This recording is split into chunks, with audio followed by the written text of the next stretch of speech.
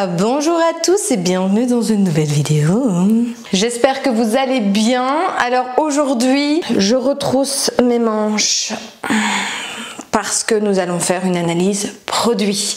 J'ai une connaissance qui m'a demandé si les produits Uriage étaient bons, si entre autres la gamme bébé était bonne. Si vous n'avez pas suivi, j'ai déjà fait quelques analyses composition, que ce soit pour des cosmétiques pour adultes ou pour bébés. Il y avait notamment Mustela, Galenco, tout un toin. Et aujourd'hui, j'ai décidé de parler de la marque Uriage, euh, que j'entends beaucoup parler, que j'entends beaucoup de mamans vanter. Non, non, non, non. Si vous ne l'avez pas encore vu et que vous l'avez raté, je vous invite à voir ma dernière vidéo par ici euh, dans le petit i. Ma vidéo sur les produits cosmétiques naturels pour enfants. Je fais le point sur beaucoup de marques, euh, celles qui sont bonnes, celles qui sont pas bonnes, celles qui ont des ingrédients ok, pas ok, etc. Mais je parle surtout des marques naturelles pour les enfants, donc des alternatives à toutes ces marques un peu cracra. Sans plus tarder, nous allons donc rentrer dans le vif du sujet. Nous allons donc analyser aujourd'hui le lait corporel hydratant de la marque Uriage. Pour bébé, of course. Pour bébé et enfant, of course. Comme d'habitude, je vous mets en bas ici euh, la listing key des ingrédients et nous allons faire ingrédient par ingrédient.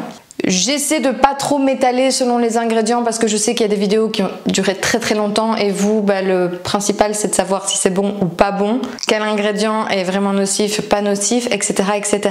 Je le respécifie également, je ne suis pas une professionnelle, je suis une personne qui s'y intéresse vraiment beaucoup, qui fait beaucoup de recherches, qui entrecroise plusieurs informations, plusieurs sites scientifiques, plusieurs sites de décomposition afin d'arriver à une vérité plus ou moins vraie. Mais de toute façon, pour ce produit, ce sera extrêmement rapide, extrêmement facile, parce que nous avons tout d'abord en premier ingrédient de l'eau. Donc l'eau, ok, elle fait partie de la plus grosse partie des compositions de cosmétiques, que ce soit conventionnel ou naturel, donc ok. Mais ensuite, nous avons ce très cher et très connu et très génialissime Paraffinum liquidum. Mesdames et messieurs, mes très chères mamans, futures mamans, le paraffinum liquidum, si vous ne le savez pas encore, ben, il s'agit de l'huile de paraffine qui est issue de la distillation du pétrole. Après séparation des hydrocarbures combustibles du style gaz, essence, fuel, etc., euh, etc. Quoi.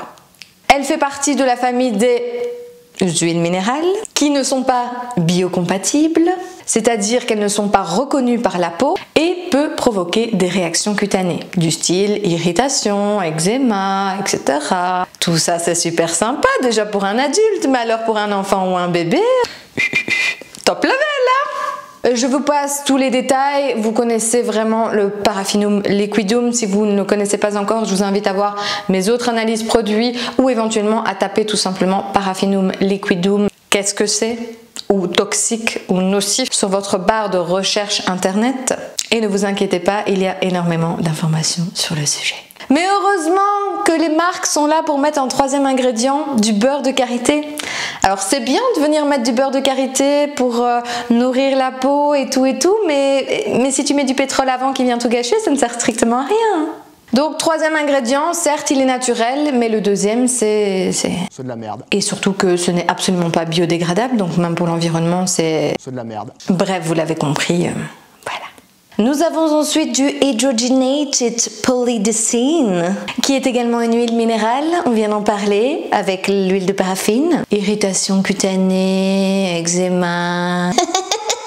Nous avons ensuite de la glycérine, là c'est ok, là c'est on est sur du ok pour la peau. Sauf que parfois ça peut être un dérivé de l'huile de palme, donc à vous de voir. Bien vérifier quand vous achetez de la glycérine si vous confectionnez vos cosmétiques vous-même. Nous avons ensuite du cétyl alcool qui peut être végétal ou synthétique et qui là on est sur un alcool gras qui va venir donner de la consistance au cosmétique et en soi qui n'est pas nocif pour la peau. Il va émolier, il va assouplir, il va adoucir la peau donc euh, ça va.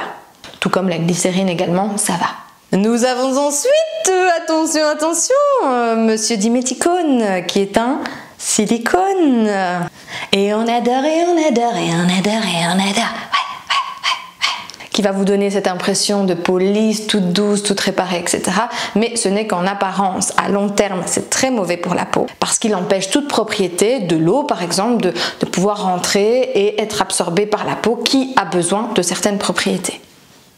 Je sais pas si je suis claire, mais vous m'avez compris. Maintenant, les silicones sont assez bien connus, les gars. Hein mais si vous débutez là-dedans, parce que oui, on a tous été débutants un jour, je vous invite également à aller voir silicone sur Internet et vous avez de nombreux articles là-dessus. Après, encore une fois, sans jugement, certaines personnes, ça ne dérange pas d'utiliser des silicones ou des huiles minérales, etc. C'est chacun sa vie, chacun son choix de vie. Je suis là juste pour analyser la composition, vous dire ce qu'il y a dedans, si c'est mauvais, pas mauvais, ce que ça engendre, ce que ça n'engendre pas. Mais après, je veux dire, chacun choisit en conséquence. Il y a des ingrédients qui pour moi sont synthétiques mais pas nocifs mais que je ne vais pas forcément utiliser, mais d'autres personnes, à partir du moment où c'est pas nocif, même si c'est synthétique, ils vont les utiliser. Donc voilà, chacun fait sa popote comme il veut. Nous avons ensuite le polysorbate 60 qui est un ingrédient synthétique et qui est un composé étoxylé. Qu'est-ce qu'un composé étoxylé? Est-ce que vous vous souvenez Dernière vidéo? Donc un composé étoxylé, c'est fait à partir d'oxyde d'éthylène qui est un gaz assez toxique, assez réactif, assez cancérigène et assez euh, mutagène. A priori, selon les scientifiques, comme on a travaillé le produit, etc., après l'avoir chauffé, blablabla, il n'est plus toxique. C'est plutôt le procédé de fabrication qui est plus reproché parce que bah, ça vient d'un gaz toxique, etc. Mais selon eux, après, tout va bien. Mais, pourquoi utiliser ce produit dans ce cas? Pourquoi? Pourquoi? Mais d'autres études ont également dit, ont également certifié qu'il y avait dans ce polysorbate ingrédient final du dioxane qui, elle, est supposée irritante et cancérigène. En plus de ça, ce n'est absolument pas biodégradable, donc c'est comme vous voulez. C'est vraiment comme vous voulez. Nous avons, et là j'ai besoin de mes notes parce que je ne connaissais pas cet ingrédient, c'est du Shoera stenoptera seed butter. Donc c'est du beurre dilipé, donc euh, qui est une plante, je suppose. J'ai pas bien fait mes recherches, je vous avoue. Oui, oui. Bref, dans tous les cas, c'est d'origine végétale, c'est du beurre, donc ça va permettre de nourrir, d'assouplir la peau. C'est un agent d'entretien de la peau, tout simplement. Nous avons ensuite du trométamine qui est un ingrédient synthétique, qui est un ingrédient qui est un peu réglementé, donc c'est-à-dire qu'il ne peut pas y avoir plus d'autant de pourcentage dans le produit, donc c'est réglementé par l'Europe, et qui est utilisé quand même assez fréquemment pour réguler un peu le pH de la peau. C'est un agent masquant également, euh, pour moi il n'est pas nécessaire. Mais je veux dire en soi, niveau toxicité, j'ai pas trouvé plus de renseignements que ça, donc ça m'a l'air ok. Nous avons ensuite du parfum. Alors là, pareil, il peut être végétal, synthétique ou animal. Animal, j'espère que, bon, hein, on est dans une époque où quand même, faut arrêter. La marque ne spécifie pas que c'est végétal parce que oui, si un ingrédient végétal, on est quand même censé le stipuler. Et là, le parfum n'est pas stipulé, donc je suppose que c'est synthétique. Que ce soit synthétique ou végétal, attention, il peut y avoir des ingrédients parfumants qui sont allergènes même dans le végétal. C'est pas parce que quelque chose est naturel qu'il ne peut pas être allergène ou auquel vous ne pouvez pas être allergique. Ce qui est logique. Tout le monde est différent, on a tous une peau différente et on a tous une sensibilité différente. Donc en soi, pas toxique, mais ça peut être irritant le parfum. Parfois, pour faire un parfum, on utilise de l'alcool et voilà. Surtout pour les bébés, les enfants. Moi, personnellement, je sais que je prendrais des choses plus neutres, plus sans parfum ou alors des parfums d'origine végétale, mais pas trop allergènes mais c'est un choix personnel encore une fois. Nous avons ensuite, et je prends mes notes, l'acrylate C1030 alkyl acrylate cross polymère qui est synthétique, qui est un polymère de synthèse. Et euh, là, la bonne nouvelle, bah, c'est que c'est un dérivé plus ou moins lointain du plastique. Donc niveau pollution, euh, c'est super sympa. Enfin déjà au niveau pollution de votre peau, mais en plus de ça, euh, de la planète, c'est top. On adore. Il est utilisé en tant que stabilisateur d'émulsion. C'est également un agent filmogène et un agent de contrôle de viscosité. Enfin, moi personnellement, je l'ai mis en catégorie rouge. Nous avons ensuite le chlorphénécine qui est également synthétique, qui est un conservateur et qui est réglementé, donc pas plus de autant dans le produit, mais qui est également controversé car il est potentiellement irritant et allergisant.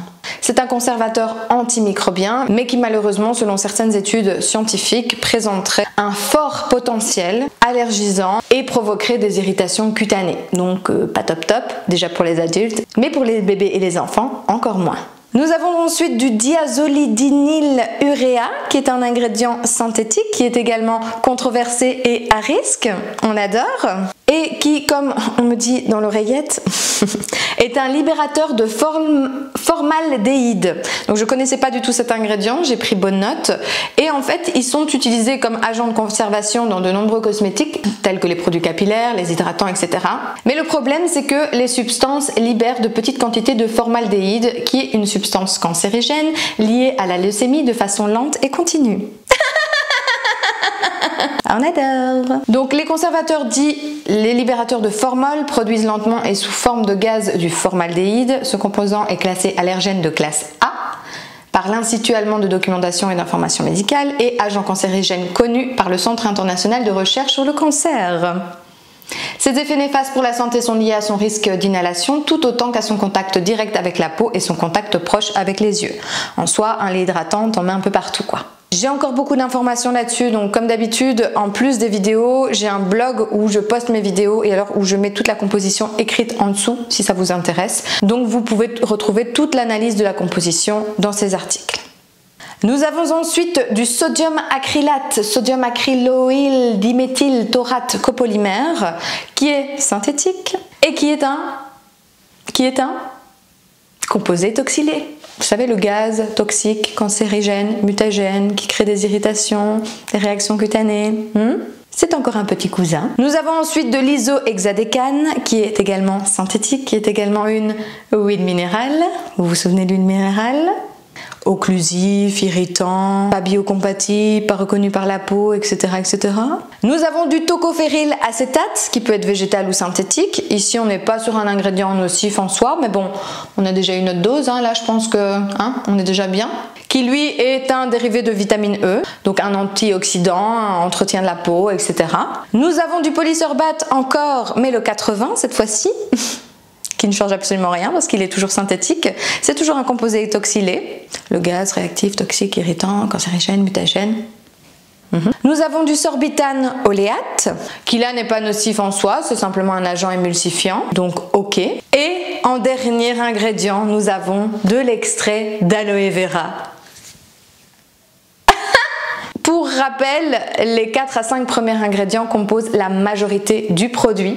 Donc c'est-à-dire que si on vous vante un produit à base d'aloe vera par exemple et qu'il est en dernier ingrédient, eh bien c'est limite du 0,0 dans le produit. Donc limite il n'est pas présent et limite ça ne sert à rien. Surtout quand il y a autant de bons ingrédients devant.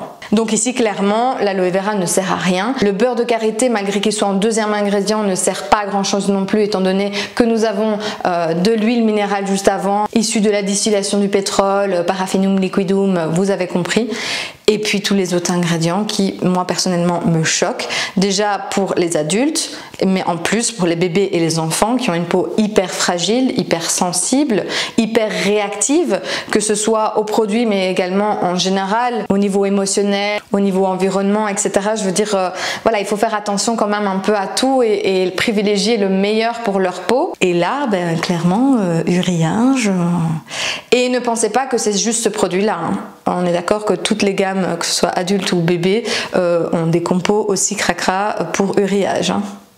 Donc voilà, je, je, pense avoir fait plus rapide que d'habitude, je suis assez fière.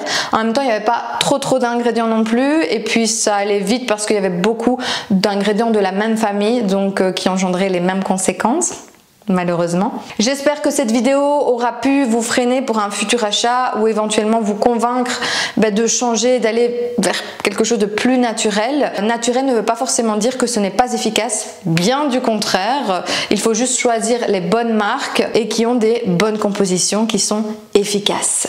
Pour ça, je vous mets tout en barre d'infos, que ce soit le lien vers l'analyse écrite du produit qu'on vient d'analyser aujourd'hui ou que ce soit vers ma vidéo avec les alternatives naturelles pour bébé. Ben voilà, j'espère que la vidéo vous a plu, qu'elle vous a été utile. Je vous souhaite une bonne journée ou une bonne soirée et je vous dis à bientôt.